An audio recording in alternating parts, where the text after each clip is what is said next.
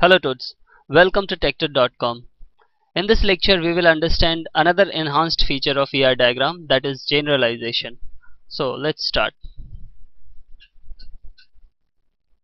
Generalization is basically the reverse process of specialization.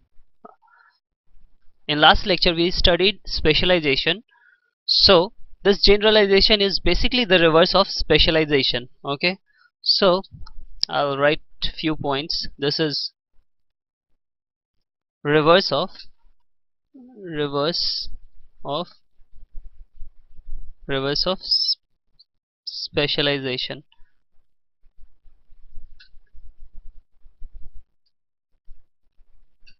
Okay. And this is also a as I said it is reverse. It is bottom up approach bottom up approach. Okay. Well so let's understand what it is with an example. Okay what do we do? Let's revise what I uh, we studied in last lecture. We studied that this person is generalized or sorry specialized by adding some additional attribute into employee and customer. Okay?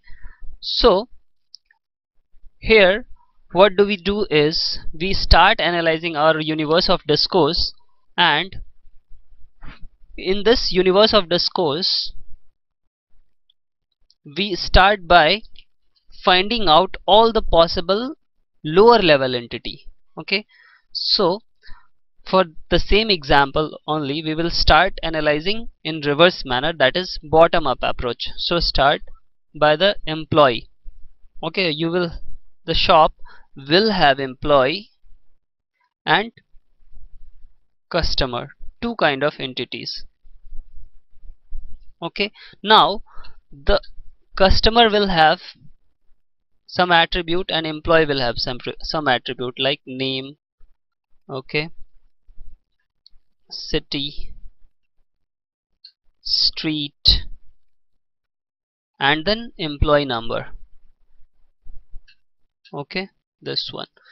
Similarly customer customer will also have some attribute that is name name city street then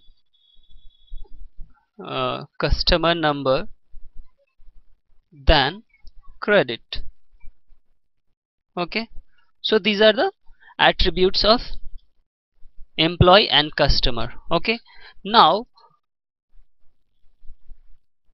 we thought we uh, analyze it little bit and see the both the entities have some attributes common right?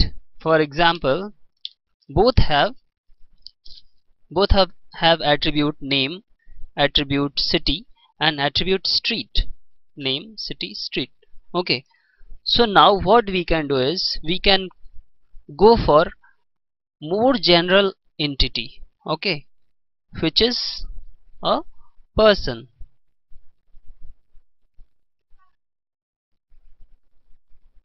Person. Okay. And this person will have name attribute street attribute and city. Okay?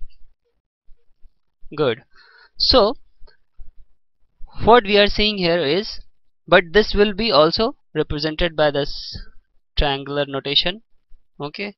Which says if you go in reverse manner from bottom to top it says this two entity employee and customer employee and customer has been generalized into a person entity. Okay? And then what do we do we remove these entities these attributes which are there in the person which has been taken in the person. Okay?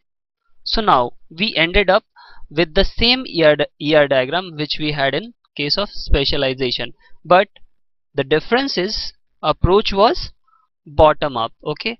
Here lower lower level entity unite and produce higher level entity. Okay? Two lower level entity employee and customer unites and produces a higher level entity person. Okay?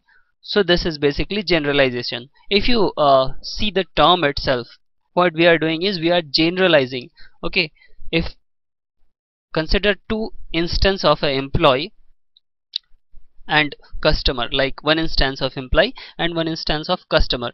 Both employee and customer can be called as person right? So what we are saying rather than calling it separately we are we are generalizing the name and calling him person okay? So this was the concept of generalization.